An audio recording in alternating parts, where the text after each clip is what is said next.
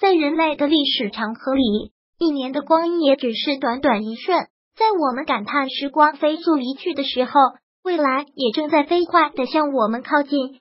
二零一七年，远在一点三亿光年外的那次撞击，让人类沸腾。正是那短短一个信号的捕捉，开启了多信使天文学时代。二零一七年，从危机到德州扑克，再到仅用四十天就超越前辈的 AlphaGo Zero。人工智能不断传来让人震惊的新消息，还是二零一七年，基因、人工合成基因组、人造子宫，人类还在不断拓宽对生命的认知。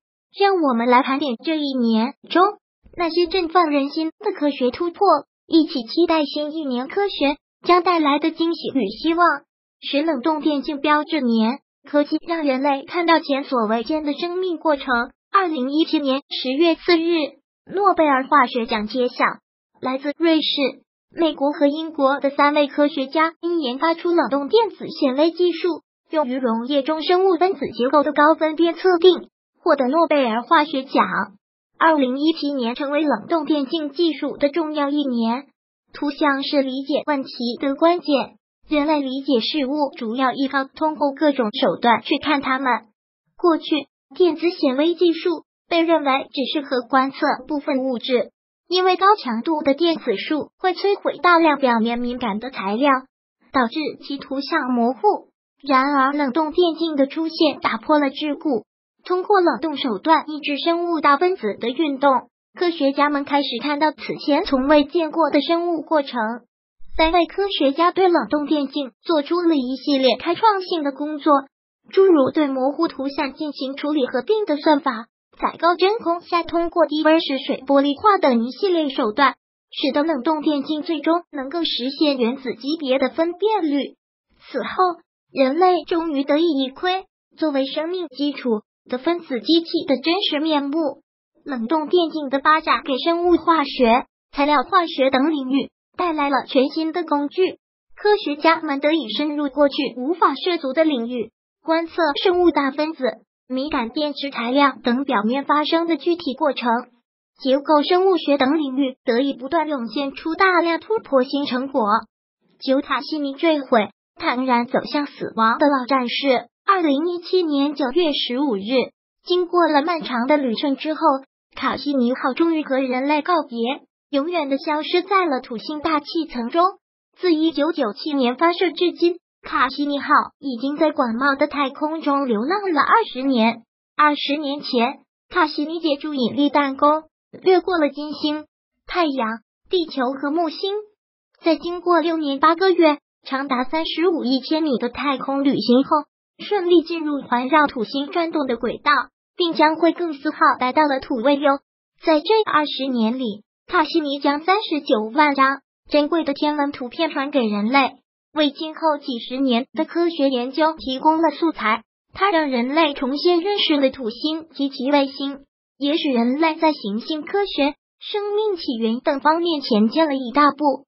然而，所有的开始终究都会结束。在完成了最后一次与土卫六太太的近距离约会后，他踏上了最后二十二圈环绕土星的旅程，并最终向土星大气层俯冲而去，燃烧殆尽。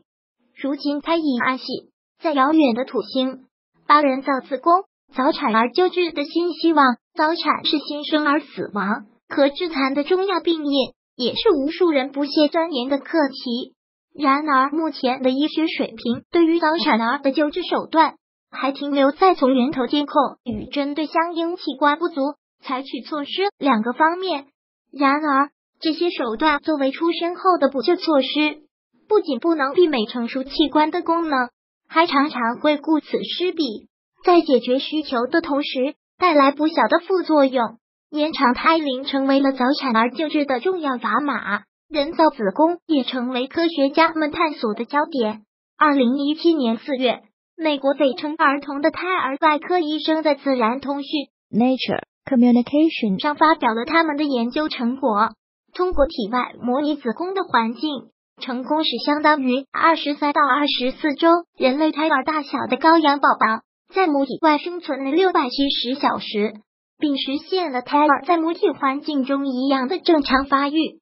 虽然从羊过渡到人类胎儿仍有不小的距离，但这项研究已经在模拟成熟器官功能、预防早产和早产儿方面迈出了一大步。其最古老人类化石和新种大猿，人类对祖先和近亲演化的探索，无论是对历史的追溯，还是对新物种的发现。二零一七年，人类还在不断探寻着自己和近亲的演化本源。二零一七年六月，在摩洛哥发现了目前已知最古老智人化石。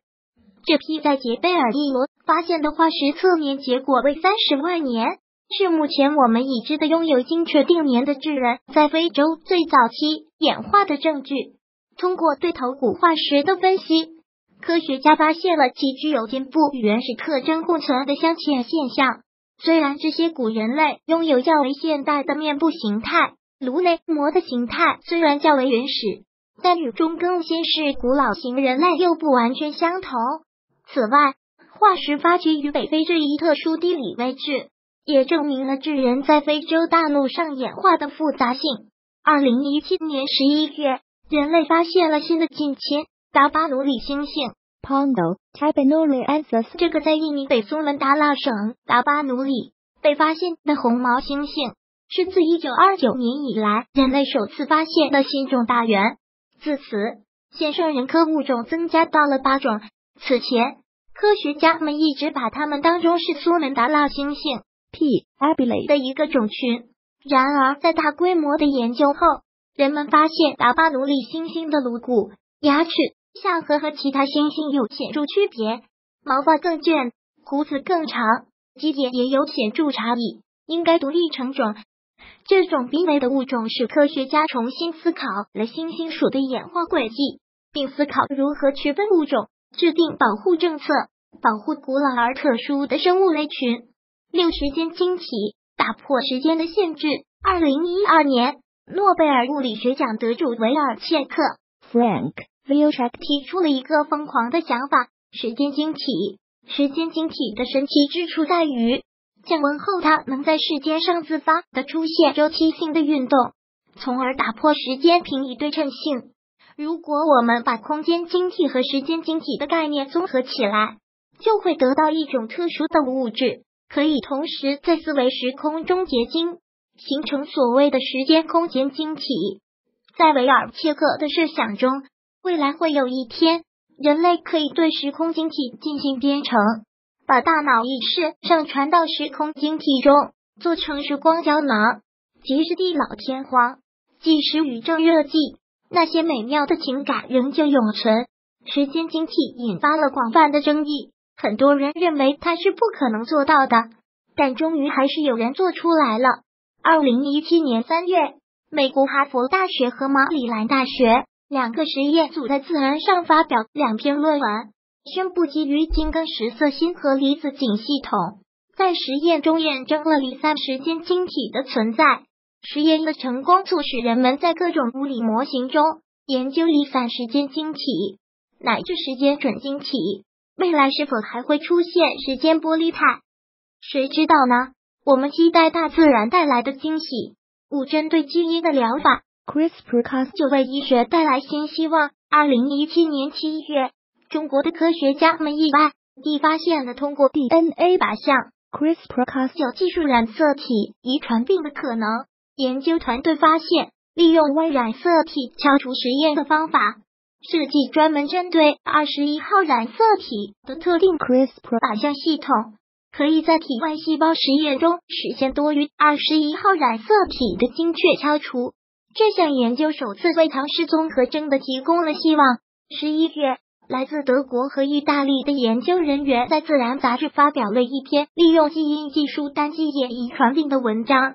文章中涉及的病例是一位罹患交界型大疱性表皮松解症的男孩。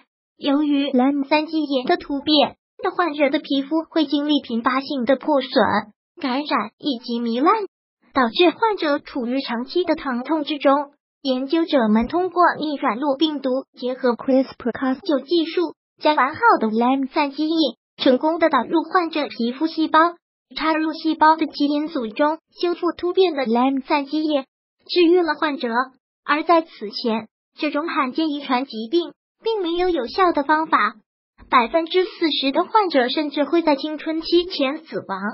在其他研究中，CRISPR-Cas9 技术对遗传性心脏病、I 型肌损型肌肉萎缩症等疾病的与治愈也起到了极大的推进作用。CRISPR-Cas9 及其相关应用自从面世以来，已经连续三年上榜年度十大科学突破。这种源自细菌的基因技术究竟还有多少潜力？让我们拭目以待。